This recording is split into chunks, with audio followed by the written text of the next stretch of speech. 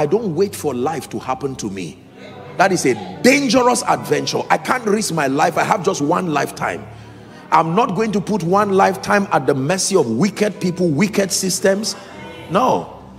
Job already taught us a lesson by being silent. I would be silent. I have to participate in every outcome that happens in my life. No devil will make any discussions and then I become a victim of operations of spirits and territorial powers. No. No. Discussions were concluded about Job, and the Bible says, on a certain day. You are about to experience a transformative journey with Apostle Joshua Selman in this powerful sermon. This profound teaching will deepen your understanding of faith, purpose, and spiritual growth. Get ready for a soul stirring encounter that will inspire and empower you. This is what happened to Jesus as he prayed. This is what will happen to any believer as you pray. As he prayed, the fashion of his countenance, transformation. A weak you can become a strong you when you pray. A timid you, a carnal you can become a spiritual you. You can pray out weakness, pray out limitation most believers have not used prayer as a tool for their development. Show me a man who has been methodically mentored to understand the ministry and the role of prayer in his development and has obtained grace to engage. I show you a powerful Christian in the making. Now, I hope you know that when the disciples of John became the disciples of Jesus, they noticed that Jesus's prayer produced power and they came to him and said, Teach us to pray. Their issue was not prayerlessness, their issue was that there was no power in their prayer. Everything he said came to pass. What was he saying? What was he doing? You must spend a major part of your prayer life praying in the spirit when you want to grow. Listen carefully. You must spend a major part of your prayer time praying in the spirit. Hmm. Most believers do not use prayer as a tool for growth and transformation. It says you shall receive power after that the Holy Ghost is come upon you. But in Acts chapter 2, they received a prayer language, not power that means there is a relationship between that prayer language and the promised power. Am i right on that? If i tell you that i'm bringing you a hot meal and i bring you say a blue gift it means you must open to find out there must be a connection between that gift i gave you and the promise i left you. Probably the meal must be inside. Am i wrapped are we together? If I promise you a thousand dollars and then I hand over a bag, it is only wise to open that bag because the thousand dollars will most likely be in there as cash, as some voucher, as a check. Am I right on that? So if Jesus says you will receive power and what you receive was tongues, you there has to be a relationship between engaging that prayer language and the release of power. Hallelujah. Listen i'm saying this because i'm going to give you an assignment in righteousness. You are going to work with the holy spirit to create a systemic pattern of consistent prayer from tonight.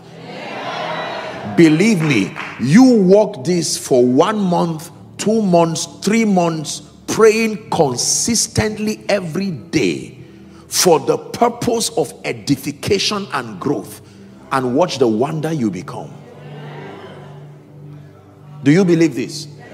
So the first assignment of prayer is as a tool for growth and transformation. Number two the second assignment of prayer is as a platform for obtaining requests and making petitions obtaining requests and making petitions obtaining requests and making petitions. God is Father, God is a giver. We can obtain requests, we can make petitions.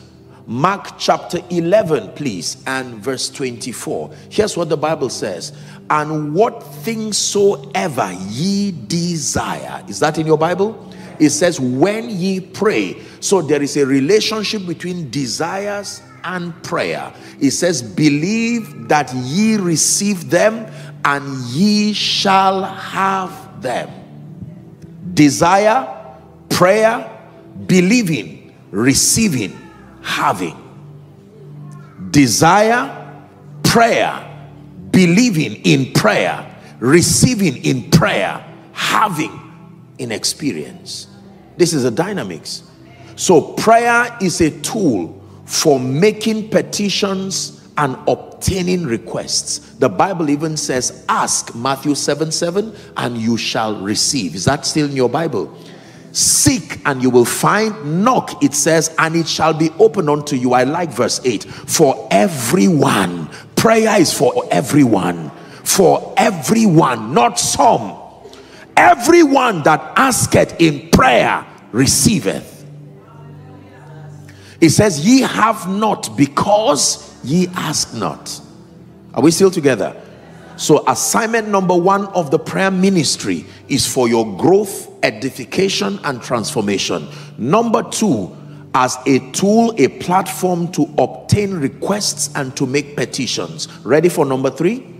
The third assignment of prayer, as revealed from scripture, is as a tool for creating your reality. Prayer, when in combination with the spoken word, helps the believer create their reality. I like this. The Bible says, even God who quickened the dead and called those things that be not.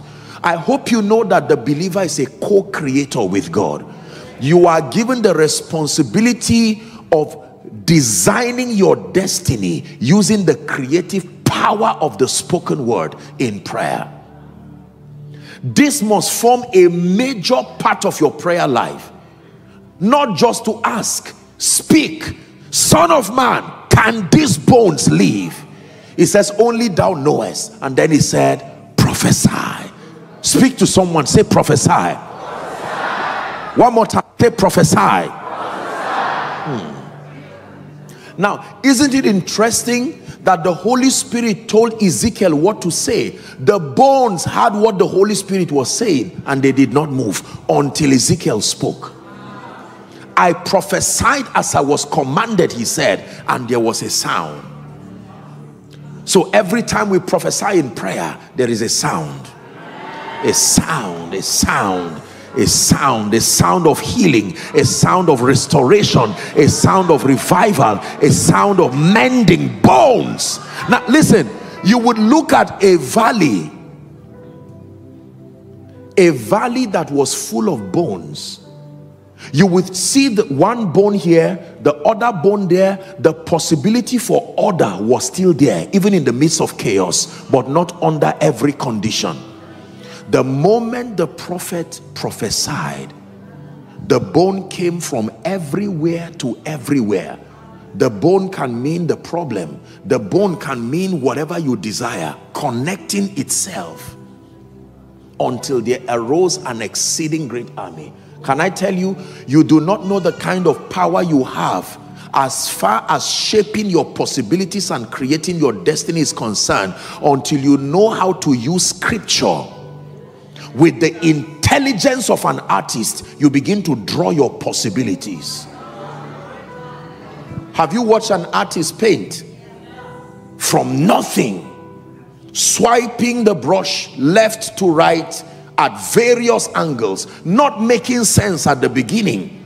Sometimes inverting the picture. Ah and then when he's done he turns it back. This is your destiny so when you begin to make declarations like the Lord is my light and my salvation, of whom shall I be afraid of? Are we together now? Yes, sir. The psalmist said, I lay me down and I slept. I waked for the Lord sustain me. A thousand shall fall by my side, ten thousand by my right side, but none shall harm me. With my eyes will I see and behold the reward of the wicked. The Bible says, They that be planted in the house of the Lord, they will flourish in the courts of our God. That in old age they will be fat and flourishing. That is my destiny. That is your assignment in the place of prayer to use the spoken word and push it with faith and begin to redefine your possibilities. When men say there is a casting down, for me, my declaration is that there is a lifting up. Yes, sir. Believe this. This is how kings reign he suffered no man to do them wrong he reproved kings for their sake saying touch not mine anointed and do my prophets no harm i'm planted in the house of god I flourish in the court of our God. In old age, I am fat and flourishing. No devil would take my life before my time. In the name of Jesus, I have a covenant of life. Did the Bible not say if they obey and serve him, they will spend their years in prosperity, their days in prosperity, their years in pleasure? I expect to be favored in any nation regardless my background. Because the Bible says watch this it says let them shout for joy. Let them say continually let the Lord be magnified which had pleasure in the prosperity of his servants. It is in my Bible that I am blessed in the city blessed not just in Nigeria I am blessed in America I define my possibilities listen I'm teaching you how believers become matured. I cannot be rejected, not by any nation, not by any people group. The hand of God is upon my life. I have the covenant of Abraham working in me. It says, In thee shall all the families of the earth be blessed. This is what I believe. This is my reality.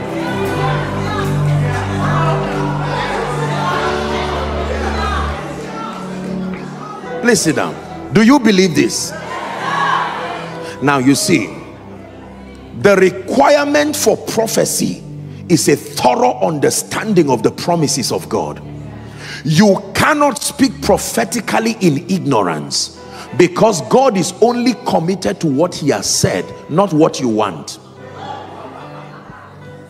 it is only when your desire becomes what God has said that it looks like God is answering you.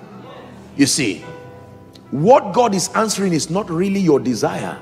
He's honoring his word that you have found and connected to your desire.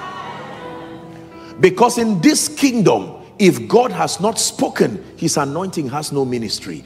The assignment of the anointing is to insist that the word does not become a lie in your life. Genesis 21 and verse 1 and the Lord visited Sarah as he had said and the Lord did unto Sarah as he has spoken God only visits as he has said he only does as he has spoken did you get that so if he has not said it and if you cannot find where he has said it there is no big for performance in your life the third ministry of prayer is someone learning? I refuse to be defeated. Not when I have this advantage in my life. No, no, no. I define my possibilities. I don't wait for life to happen to me. That is a dangerous adventure. I can't risk my life. I have just one lifetime. I'm not going to put one lifetime at the mercy of wicked people, wicked systems. No. Job already taught us a lesson by being silent. I would be silent. I have to participate in every outcome that happens in my life. No devil will make any discussions and then I become a victim of operations of spirits and territorial powers. No. No. Discussions were concluded about Job and the Bible says on a certain day. The third assignment of prayer. You see that for many of you your life has gone inconsistent with your desires because you are just allowing life to just happen. No when you leave a farm without planting something will grow. What is it called? One more time We define weeds in agriculture as unwanted plants, at least with respect to your farm. Unwanted. Hmm. Unwanted. Every tree that has not been planted by my father, it is my responsibility to uproot it. Are we together? So you find out that you're roaming over Boston and looks like doors are closed. Everyone hates you. Come on, don't go around attracting sympathy. Lock yourself. You have an advantage. The prayer ministry. You pray in the spirit and you stretch your hands like the priest that you are and begin to make prophetic scripture based declarations. Here's what the Bible says Is anyone afflicted? James 5 13. It says, Let him pray. Now, watch this. Then it says, Let him call for the elders of the church. My goodness, I like this. Watch this. It says, And let them pray. Help that person under the anointing. Anointing him with oil in the name of the Lord. Read verse 15 and never forget this scripture for the rest of your life. The prayer of faith shall save the sick. Hold on. And by the power of prayer, the Lord shall raise him up. Prayer raises men up. The Lord shall raise him up through the prayer of faith. Raise him up from a nobody and put you in a global scale. Do you believe this? Listen, do not let contemporary society make it look like prayer is just an activity of fanatical Christians, you would be doing your destiny a disservice. He spake a parable to the end that men ought always to pray and not to faint.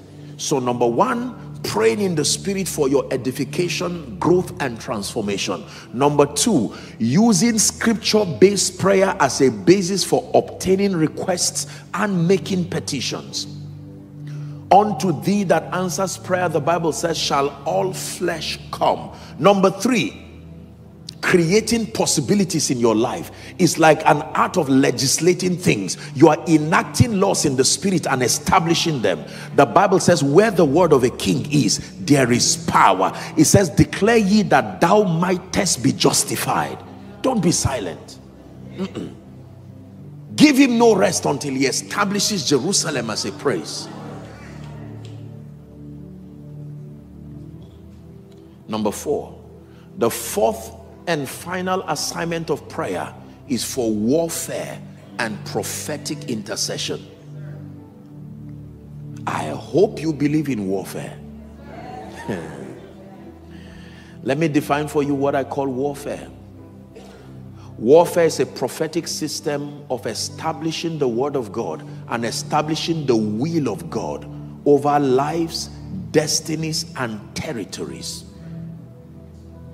Warfare is concerned not just with fighting, but establishing realities that have been finished, making them manifest through the force of intercession. I'm going to be teaching you that because this is how you would take your territory. All the other aspects, excellence, leadership, value, you already have it.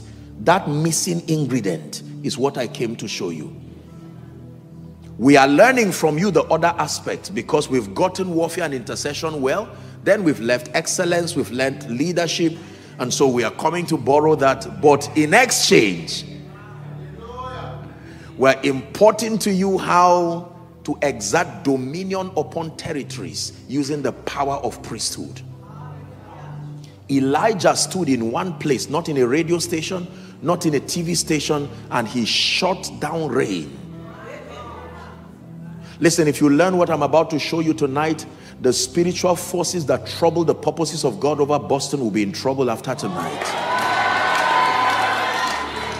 You see, Daniel was an intelligent leader and Daniel understood the power of prayer. Now, before the king, he was a valuable person, excellent, intelligent, an administrator. The Bible says he had an excellent spirit. But all that was strengthened because of his prayer so the spirits of the Medes and the Persians They needed to investigate what was responsible for this man's excellence and dexterity in life. They traced it to his prayer. Can you imagine that these spirits moved through men to enact one law against one man for just 30 days? They came through the angle of politics and governance to say for the next 30 days, no man would offer prayer to any God, king, sign this. And if anyone were found doing that, he will be thrown to the lions den. The Bible says Daniel opened the window. Do you know why he opened the window facing Jerusalem? Because when Solomon was dedicating the temple, he entered a covenant with God that everyone who faced Jerusalem offering prayer, that the Lord should hearken to them. And Daniel began to pray, and when they found him, they threw him at the lions. Then you know the story, and he refused to die. I didn't say he didn't die, he refused to die. If life is a choice, then death